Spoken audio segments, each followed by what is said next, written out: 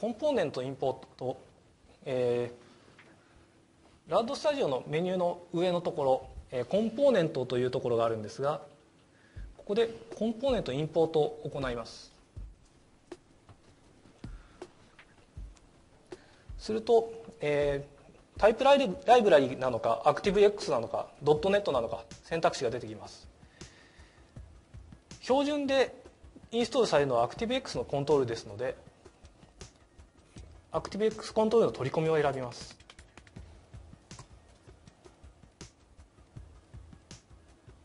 すると SAP のもの以外とにかく ActiveX で使えるものが一覧で山のように出てきます。ここで右上の検索のボックスにまず SAP と入れてみます。すると SAP というキーワードだけでもこれだけのたくさんのコントロールがあります。たくさんあるからといって実際使うのはどれなんだと。この中の2つだけです。1つはつなぐためログインするためのコントロール。汎用モジュールを使うためのコントロールの2つです。検索のキーワードとしては、えー、SAP ログオンと入力いただくと SAP ログオンコントロールもしくは SAP ユニコードあ SAP ログオンユニコードコントロールが出てきます。これが SAP にログオンするために必要なコントロールです。続いて汎用モジュールこれを使いたいという時にはリモートファンリモートファンクションとリモートでもいけますね。入力していただくと SAP リモートファンクションコント Function Call Control のまたユニコード版というように一覧が出て一覧から絞られます。このコンポーネント、えー、インストール対象のものを選んでいただいて次へとします。で、えー、ActiveX のコントロールをパレット上にどこに載せるかとかいった設定ですが、えー、今回この説明ではそのまま次へと進めます。でコンポーネントインポートこれでユニットを作るのかパッケージへ登録するのか今開いているプロジェクトに登録するのかというのが出てきますが、えー、ここではまあユニットへ、ユニットの作成として、えー、後からプロジェクトに登録するような形で進めます。するとまあ、こういった形でDelphi から簡単に使えるようなものが用意され作られます。さてこうやって作られたファイルですがこれはあの後であの RAD Studio の方でプロジェクトに追加して使用していきます。例えば新規作成で VCL フォームアプリケーションでコンポーネントで作成したユニットをこちらに追加して適当にボタンやメモメモの欄などを作って先ほどのインポートしたユニット追加。これだけで準備が完了です。あとはソースを書くだけ。ではソースですがたくさん書かなきゃいけないのか？いやそんなことはないです。まず使うもの。Tsap ログオンコントロールというクラス。と接続を、えー、管理する項目として Connection というもの。汎用モジュールを使うための TSAP Functions。これらを使います。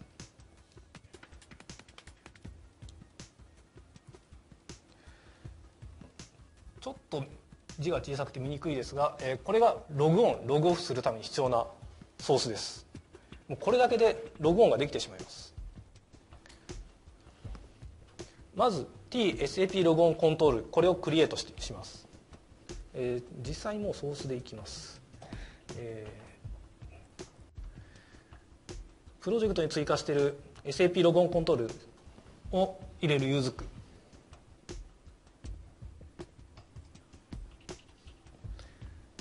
で、えー、TSB ログオンコントロールを入してコネクションを用意。でそのコネクションに対してあとはログオンとする。これだけでログインできます。でログオン成功したら何か処理をしてログオフ。そして終了です。ログオンに失敗した時コネクションのログオンこれが失敗で終わりますのでそこで、まあ、パスワードを確認してくださいとか適当なログオン失敗の時の処理を記述していただければこれでログインできてしまいます。さてパスワードの入力とかどうなるのか疑問に思われるかと思います。これは標準の機能でダイアログが開くようになっています。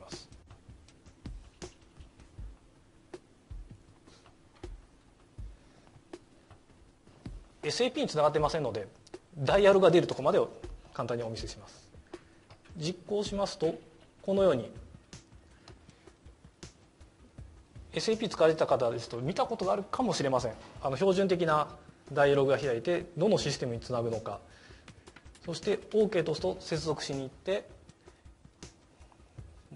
あこの次にあのユーザー名パスワードを入力する画面が出てきてで接続が完了します。ここで OK を押すとこちらのプログラムの、えー、OK をしてログイン成功しますと成功の場合処理。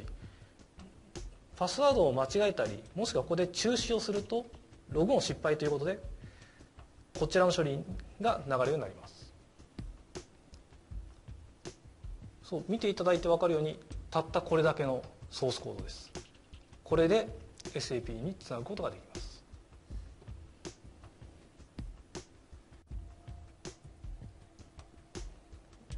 でもちょっと待ってください。システム間の連携でダイアログができてきたらどうなります？自動で連携できないです。これをもうシステムで後ろで裏で動かすという前提の時に使う機能としてサイレントログオンというのがあります。これは事前にパラメータ等でどのサーバーにつなぐのかどのユーザーでつなぐのかというのを渡してそしてログオンするという機能です。何が違うのかというとこれ見にくいですね。ここですね。コネクション先ほど、えー、ニューとしてすぐにログオンとしていましたが今度はコネクションにアプリケーションサーバーシステムナンバー SID あとログインのユーザーとパスワードログイン言語クライアント番号を入力するということができます。ここに書いてある以外もいろいろとあの SAP ルーターの設定や SNC の設定も書くことができます。今回は分かりやすいも最小限としています。でよくやってしまうこと間違いなんですがユーザーこれ大文字しか入らないのでパラメータ受け渡しにアッパーケース等で大文字しておくとまあ問題は少ないかなと思います。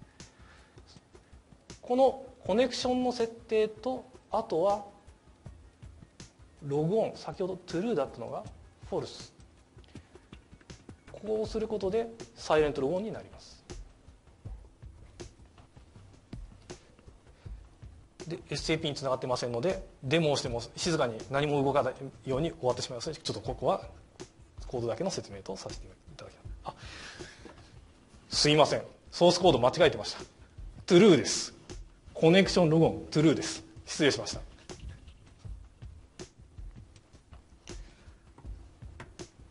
でこのプログラムを実行するとダイアログをダイアログが開かれることなくシステムにログオンすることができます。さてログインできました。SAP の機能をどんどん使っていきましょう。SAP のファンクションモジュールあ汎用モジュールどういったものがあるのかわからない。またそのつなぎたいシステムに対象の汎用モジュールがあるのかそれを知りたい。そういった時に使うのが汎用モジュール一覧を取得するものがあります。RFC ファンクションサーチこれはインポートで Function Name 汎用モジュールの名前を指定してもしくはグループ汎用グループを指定して実行するとその合致する汎用モジュールの一覧を取得することができます。これは先ほど RFC の接続に必要な権限というものを挙げましたがその権限があれば実行することができます。じゃあ、えー、ファンクションネームのところに例えばアスタリスク入れると全て一覧で返ってきます。まあ1万件以上返ってきますのでできれば例えば RFC アスターとかいう形で絞って実行するといいかと思います。ではこのソースですが変わる点はちょっと赤文字で書いてあるところですね。ちょっと小さいので実機でいきますと。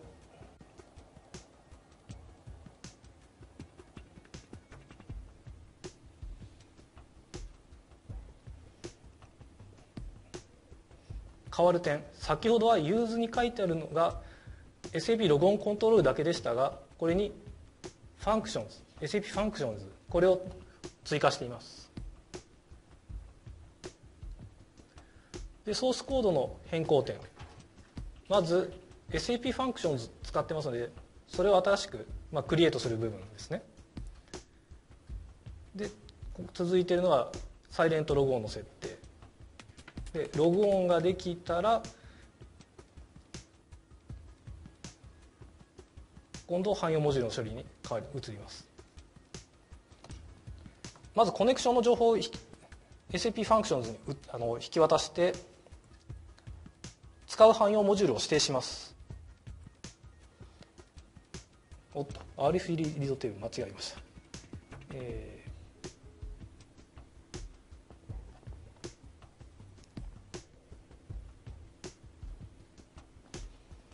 RC ファンクションサーチこれを設定します。であったあのファンクションネームに、えー、アスタリスクと何か入力してファンクションコールと。これだけで実行されます。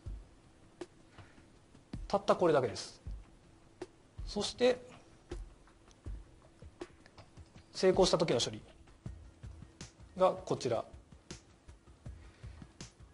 実行した結果汎用文字の一覧がテーブルに入って返ってきます。これを取り出して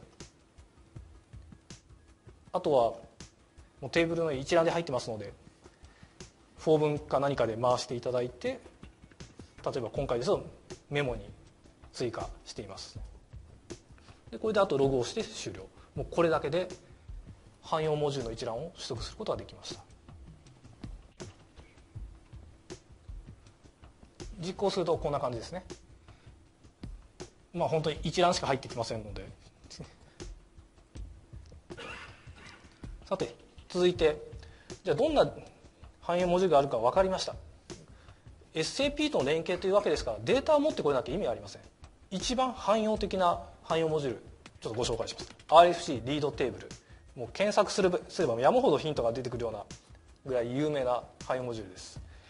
これは何ができるか。SAP システム上のテーブルこれをごっそり抜き出すことができます。例えば品目マスター MARA とか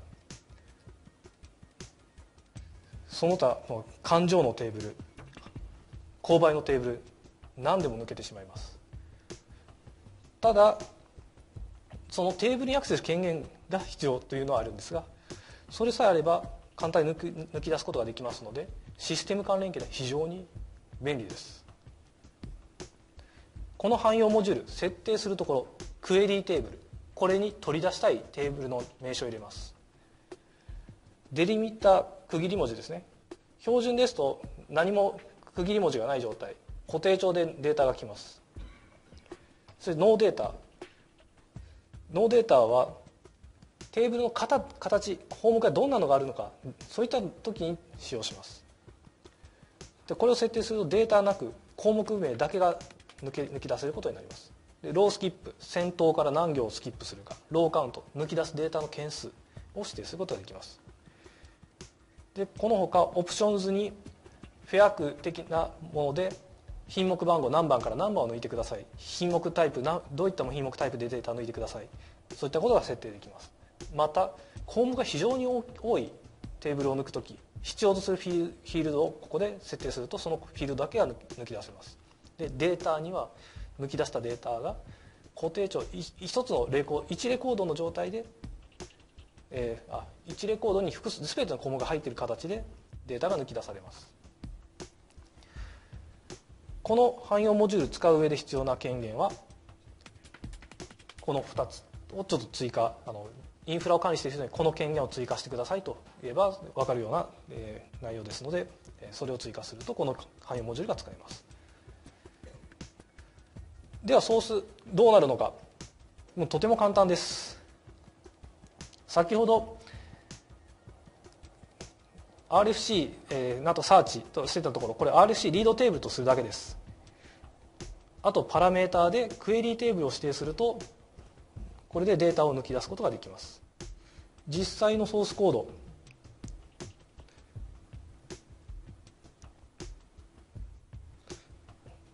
違う点というのはもう本当にここだけですね。RFC リードテーブル。そして先ほどファンクションネームだったのがクエリーテーブルとなって持ってきたいテーブル名。これはクライアント一覧をちょっと取得するので T000 を指定していますがそれを指定してファンクションコールで実行。で結果をループで回して抜き出すと。それだけで、えー、テーブルの内容が抽出できます。実行した結果どうなるのかですが、えー、これですとテーブルの内容一番左端にクライアント番号でクライアントの名称という形で入っているんですがそれは1レコードの中に複数の項目があってもそれは1つの項目としてくっついた状態でデータが抜けてきます。これですと3行1列のデータですね。これを、フィールドごとに切ればもう必要なデータが抽出できるということになります。さてフィールドの長さどうかな？わからないじゃないか。これはフィールドという項目がありますのでそこの中に入っています。より細かな型がどういう型なのか知りたい。その時にはこの RC リードテーブルでテーブルの型が定義されている DD なんとかのテーブルとかを読んでいただければ何あのそのそこは文字型なのか数値型なのか簡単に確認することができます。さてデータが取り込めました。連携というからには当然システム SAP システムデータを返さなければなりません。ERP に返す。それだと汎用モジュールでデータを登録するものを叩けばいい。でも今回ちょっとせっかくシステムに BW もありましたので BW にデータをロードするという例でご説明します。使う汎用モジュール RSPC API チェーンスタート。この汎用モジュールを実行するとデータウェアハウスの BW これにデータを取り込むことができます。BW はプロセスチェーンというものがありましてこれを実行するとデータのロードの一連の処理 ETL ツール等の一連の処理とほぼ同じですね。データをどこからか持ってきて加工してそれを分析できるようにキューブと呼ばれる多次元分析ができるスタースキーマのテーブルに格納するそういった一連の処理を行うためのそのものがプロセスチェーンというのがあるんですがこれを iChain のとこでここで指定します。で他ここは特にブランクの状態で構いません。それで実行すると BW でデータが取り込まれます。BW でデータの取り込みただ ERP からですともう標準的に用意されている RC のテーブルえー、接続。またファイルインターフェース。データベースのテーブルから直接抜き出し全てに対応しています。例えば我々のシステムがデータを用意し終わった。そして直ちにこの汎用モジュールを呼びさえすればすぐに BW の取り込みが完了する。今ですとシステムにデータを登録しました。夜間バッジで BW が毎晩動きます。その時までデータが反映しない。それがこの反映モジュールを使うと簡単に解決することができます。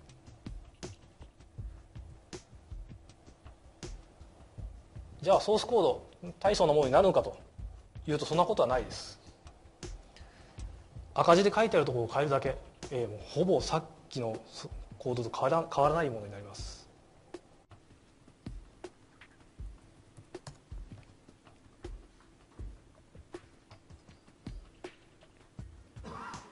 先ほどのソースとほぼほぼ同じです。違う点。指定している汎用モジュールが変わります。まあそうですね。あとプロセスチェーンを指定するわけですからそのプロセスチェーンを指定するのが変わっている。これだけです。これで処理が流れるようになります。で処理が流れたら当然そのログを見たいということもありますのでそのログの番号が入る項目からデータを抜いておけば後でその実行状況を確認することができます。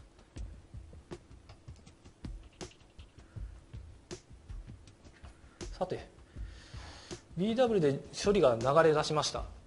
プロセスあシステムの方からロードが終わったのかどうか。エラーだったらどうしよう。そういったのを見たいと。いう要件もあるかと思います。その時には今度は RSPC API チェーンゲットステータス。これを呼ぶとプロセスチェーンの実行が今実行中なのかエラーで終わったのか正常終了したのかそれは簡単に取得できます。指定するのはプロセスチェーンの名称。と先ほど取得したログの番号ですね。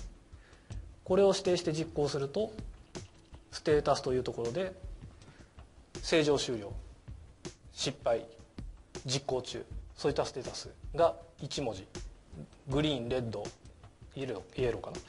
であアクティブか。で、えー、結果が取得できます。そうですね。ステータス1文字で簡単に返ってきます、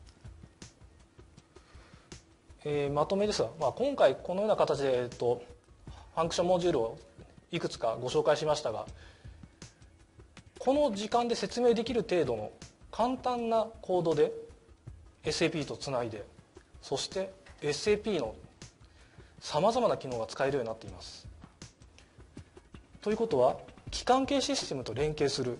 これは専門の技術者 SAP の技術者例えば ABAP の方 SDMMFI そういったそれぞれの領域のコンサルタントこういった方々がいなくてもある程度は対応することができます。また今回は RC 接続だけをご説明しましたが他に例えば簡単に SOAP のインターフェースがありますのでそれ接続することもできます。当然管理者の慣れ親しんだ技術ですの接続ですのでもう分かりやすい。管理の資料も今までと変わらない。説明が非常に楽になります。この SAP と接続以外にも標準的なインターフェース、まあ、ETL ツール等を使用してなくても、まあ、REST、JSON といった接続は非常に簡単にできるようになっています。マルチデバイスの対応も容易になっています。デバイスごとに全てを開発し直す必要はありません。しかもネイティブで動きます。最後に重要なのは一つの言語で開発することができます。複数の言語。C だったり Java だったりそういった言語。SAP これの ABAP そういったところに精通してなくてもシステムを連携することができます。非常にコストも下げて一つの言語でできてますね。品質の担保も使用しやすいというようなものになります。と時間ギリギリになりましたが、えー、今回お話ししたかったのは以上になります。ご清聴ありがとうございました。